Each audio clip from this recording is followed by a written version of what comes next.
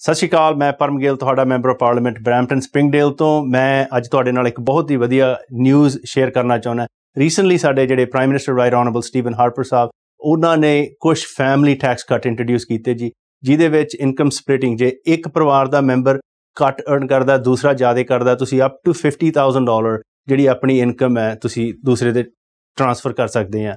2000 dollar ਦੀ saving ਹੈ। ਇਸ ਦੇ ਨਾਲ ਜਿਹੜਾ universal child tax care benefit ਹੈ 0 ਤੋਂ ਲੈ ਕੇ 6 ਸਾਲਾਂ ਦੀ ਉਮਰ ਤੱਕ ਤੁਹਾਨੂੰ ਹੁਣ 1920 ਡਾਲਰ ਸਾਲ ਦੇ ਮਿਲਣਗੇ ਤੇ 6 ਸਾਲਾਂ ਦੀ ਉਮਰ ਤੋਂ ਲੈ ਕੇ 18 ਸਾਲਾਂ ਦੀ ਉਮਰ ਤੱਕ ਤੁਹਾਨੂੰ ਹਰ ਇੱਕ ਬੱਚੇ ਦੇ 720 ਡਾਲਰ ਮਿਲਣਗੇ ਸਾਲ ਦੇ।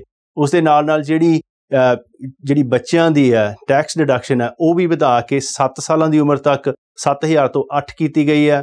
ਜਿਹੜੇ ਬੱਚੇ 7 ਸਾਲ ਦੀ ਉਮਰ ਤੋਂ 16 ਸਾਲ ਦੀ ਉਮਰ ਤੱਕ ਹੈ, ਉਹ 4000 ਤੋਂ ਵਧਾ ਕੇ 5000 ਤੱਕ ਕੀਤੀ ਗਈ ਹੈ। ਉਸ ਦੇ ਨਾਲ ਨਾਲ ਜਿਹੜੇ ਬੱਚੇ ਚਿਲਡਰਨ ਜਿਹੜੇ ਡਿਸੇਬਿਲਿਟੀ ਹੈ ਜਿਨ੍ਹਾਂ ਨੂੰ, ਉਹਨਾਂ ਦਾ ਜਿਹੜਾ ਟੈਕਸ ਕ੍ਰੈਡਿਟ ਆ, ਉਹ 10000 ਤੋਂ ਵਧਾ ਕੇ 11000 ਕਰ ਦਿੱਤਾ ਗਿਆ। ਉਸ ਦੇ ਨਾਲ ਨਾਲ ਜਿਹੜਾ ਚਿਲਡਰਨ ਫਿਟਨੈਸ ਟੈਕਸ ਹੈ, ਜਿਹੜਾ ਕਿ ਪਹਿਲਾਂ ਸਾਡੀ ਹੀ ਸਰਕਾਰ ਨੇ ਇੰਟਰੋਡਿਊਸ ਕੀਤਾ ਸੀ 500 ਡਾਲਰ ਸੀਗਾ, ਉਹਨੂੰ ਵਧਾ ਕੇ 1000 ਡਾਲਰ ਕੀਤਾ ਗਿਆ।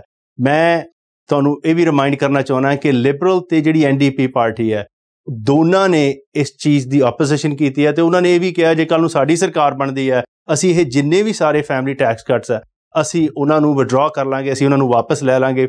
ਤੇ ਜਿਹੜੀਆਂ ਕੈਨੇਡੀਅਨ ਫੈਮਲੀਆਂ ਹੈ, ਤਕਰੀਬਨ 4 ਮਿਲੀਅਨ ਫੈਮਲੀ ਜਿਨ੍ਹਾਂ ਨੂੰ ਇਹ ਬੈਨੀਫਿਟ ਮਿਲਣਾ ਹੈ, ਉਹਨਾਂ ਨੂੰ ਬਾਅਦ ਦੇ ਵਿੱਚ ਨਹੀਂ ਮਿਲੂਗਾ। ਸੋ ਇੱਕ ਵਾਰੀ ਫਿਰ ਮੈਂ ਤੁਹਾਡਾ ਸਾਰਿਆਂ ਦਾ ਤਹਿ ਦਿਲੋਂ ਧੰਨਵਾਦ ਕਰਦਾ ਜੀ। ਸਤਿ ਸ਼੍ਰੀ ਅਕਾਲ।